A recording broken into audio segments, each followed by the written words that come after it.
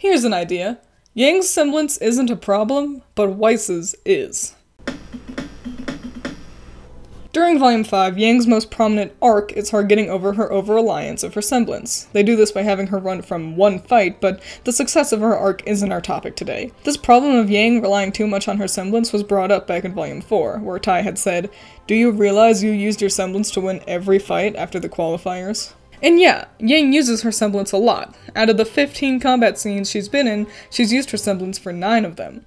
Not to mention how often she activates it during conversation. However, while Yang uses it pretty liberally, she doesn't really use it exceptionally more than anyone else. Why Yang's been singled out for her semblance while everyone else gets a pass makes no sense. When Yang brings this up in their conversation, Tai argues that not everyone else's is basically a temper tantrum, but uh, Tai's fucking wrong. First of all, while Yang does activate her semblance when she gets angry, she's also shown to keep her technical abilities. She doesn't just hulk out and shoot wildly, she's still able to think critically and execute challenging athletic feats like her Dempsey rolls. I would describe it less like a temper tantrum and more like a surge of adrenaline. Secondly, Yang is far from the only character to utilize their semblance more when they get upset or angry. We've seen a multitude of characters get angry during a fight just to kick it into high gear. Singling Yang out for this just seems odd when in the same volume, Weiss gets upset and accidentally summons a Boarbatusk, and later both Hazel and Emerald freak out and overuse their semblances. Tai continues to say, It's great in a bind, but what if you miss? What then? Now you're just weak and tired. Tai seems to suggest that Yang gets one good punch in before she has to lie down to recover. Except that isn't how Yang's semblance works at all. Yang can turn her semblance on and off at will. We've seen her go berserk for a moment and then go back to fighting without it on. Even after taking out tough opponents with a super-powered semblance punch, which we've seen multiple times, Yang continues as normal. She doesn't struggle to stand or speak. The most we've seen her do is take a breath to calm herself down, but using her semblance has never been shown to tire her out. Here's the real kicker. Tai connects all this to her lost arm. You used your semblance irresponsibly, so you got tired and lost an arm. But once again, no, that did not happen. The only combat we saw Yang partake in before she encountered Adam was we saw her punch one guy in the face at a distance. Yang, for the most part, is absent during the attack on Beacon. We don't ever cut to her fighting through hordes of baddies looking for her friends or anything, implying that she's not fighting anyone. When she finds Adam, it should be assumed that she's at full HP. Yes, she activates her semblance when she charges Adam, but that doesn't negate the use of her aura. Adam cuts through her aura, her semblance has nothing to do with the fact that he dealt so much damage. If she had jumped toward him without her semblance activated, she still would have lost that arm. For some reason, the writers have arbitrarily decided that Yang needed something to overcome and chose relying too much on her semblance.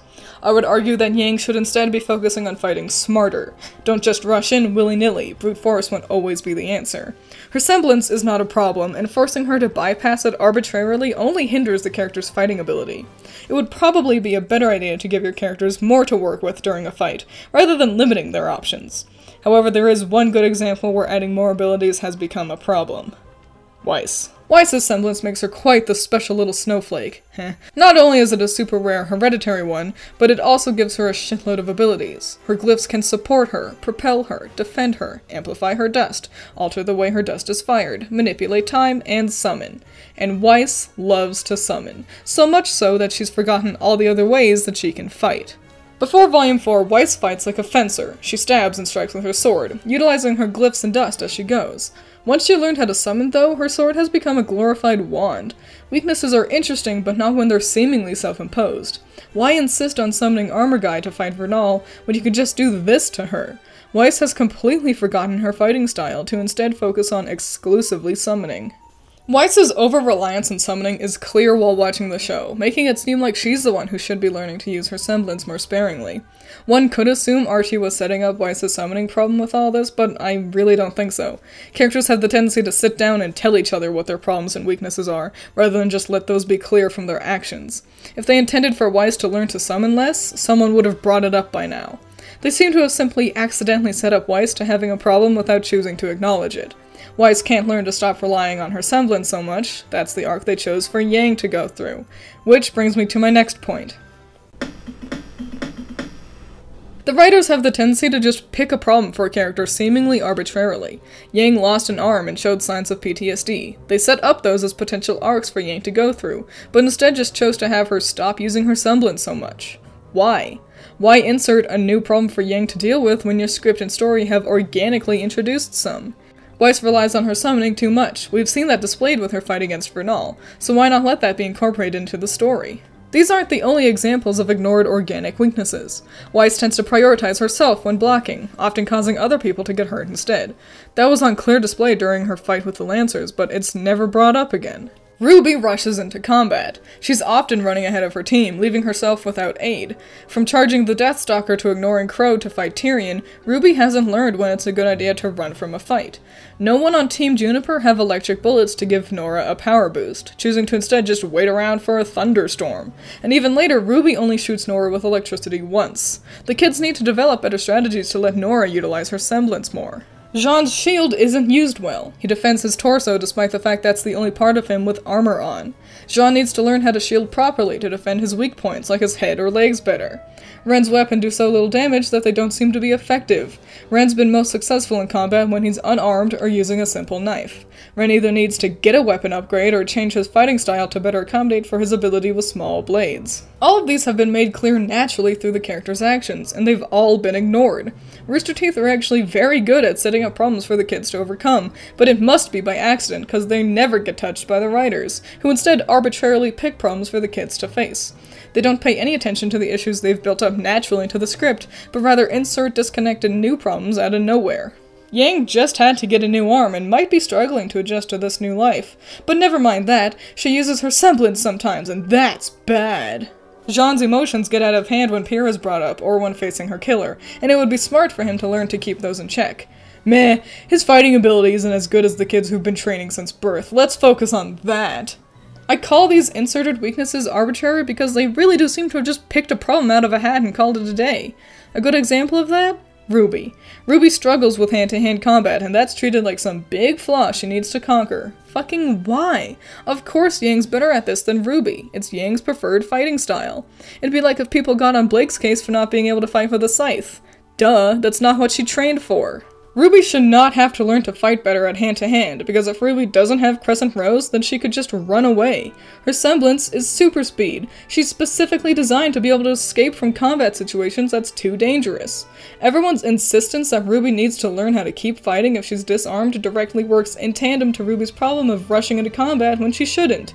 Ruby needs to learn how to run away, but instead the writers force Ruby to pursue bad habits and stick around even when she's unarmed. Not only is this an inserted weakness, but it's also also a bad one. Why is Ruby also the only one where this is a problem? Weiss drops Myrtenaster all the time. Why isn't she being called out for her hand-to-hand -hand abilities? In fact, almost all of the main cast heavily rely on their weapons, and aside from Ren, Yang, and Sun, would probably do poorly with just fisticuffs. Ruby's weakness is something everyone has, but no one else has to deal with. And that's another thing. Weaknesses and flaws are seen as an obstacle to overcome, rather than something for the characters to work around. While it is good to present your characters with problems to conquer, not every character flaw should be treated this way. Ruby's poor hand-to-hand -hand fighting is treated as something she needs to get better at. Characters' flaws are interesting and offer dimensions to their range of ability. Why simply have Ruby suddenly get good at fisticuffs when having Ruby work around her weakness would be more thought-provoking? Ruby can't do hand-to-hand well, so instead of having her become a boxing champion, have her insist on bringing Crescent Rose to inappropriate events, just in case. Have her craft some sort of belt or harness so her scythe's always attached to her. Have Ruby load herself up on a bunch of small hidden weapons so she can take pot shots at enemies while she makes a break for Crescent Rose. Weaknesses don't need to simply be overcome, but rather are far more interesting if they are permanent problems the characters must face and work around. Not to mention that having your characters continually conquering their flaws means you're also continually throwing new ones at them to face, or leaving them perfect with no way to grow. Weiss needs to learn how to work better with others. She did. Now she has to stop being so racist. She did. Now she has to learn to summon. She did. Now she has to learn to control her summoning. She did. Now she has to stand up to her dad and stop doing what he tells her to do. She did. Weiss is constantly getting over some character flaw, and now she kinda has nothing to do. I mean, the writers could focus on her summoning problem, but they probably won't, which means Weiss has no character weaknesses. No matter who or what she's facing, no matter what their abilities are, no matter the terrain, Weiss is on an even playing field against everyone, which means Weiss and the writers don't have to think about the circumstances of combat. There are no unique or interesting tactics Weiss needs to employ during combat, because she doesn't struggle with any element that could be presented to her. They've rendered Weiss's combat tactics boring. They actually do have a character with an established flaw that hasn't been presented as something they need to get better at, but it might be because they forgot about it. Yang struggles against people who kick. Apparently. I had thought Milsha was just a weenie, but during the director's commentary they explained that Yang has a tougher time with people who use kicks, and that's why Melanie lasted longer against her. That's why Yang's always fighting Mercury in the openings, that's why they insist that this pair-up is tense. Except Yang does nothing different when fighting these kickums. They set up this obstacle but don't ever have the characters acknowledge it. If Yang has so much trouble against people like Mercury, why doesn't she fight defensively, or attempt to avoid these conflicts, or maybe lose sometimes? Yang's fought Melanie and Mercury and hasn't lost to either of them once. Yeah, Neo kicked a lot, but it was her ability to dodge and redirect Yang's momentum that landed her a victory. And now she's gone, so it's not like Yang can improve to beat her in a rematch or something. The writer's ability to set up flaws for the characters is downright impressive. There's a whole treasure trove of potential growth and intrigue represented through the characters' actions that simply go ignored. They pass over all the well-established potential arcs and just pick a random new thing for the characters to confront. Their insistence on throwing out of the blue hurdles at the cast results in arcs with no setup and no real visible payoff. Establish a problem we've never seen before and consider acting upon that once successful growth. Every weakness is presented as something to overcome, rather than a problem to work around, resulting in characters constantly getting new issues thrown at them or stagnating with no weaknesses to think about. RT needs to realize that having your characters struggle with something is good and shouldn't just be seen as something for them to get better at. Watching your characters overcome situations with their problems is more entertaining than watching them just overcome the root of the problem. Giving them weaknesses presents situations that act like puzzles for them to solve.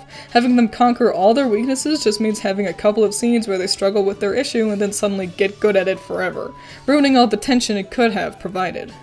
It would be great if RT could zero in on the organic flaws of the cast and let them develop naturally. Show the characters fumble and later have that character plan accordingly so as to not fumble again. Let us see their growth. Don't just tell us they have a problem we've never seen before. It's satisfying to watch characters actively change their tactics so as to better accommodate for their flaws and previous mistakes. But unfortunately, as it is now, that happening doesn't seem very likely. RWBY's writers insert arbitrary flaws onto the characters while foregoing the organically introduced ones they've set up. Yang's semblance isn't a problem, but Weiss's is.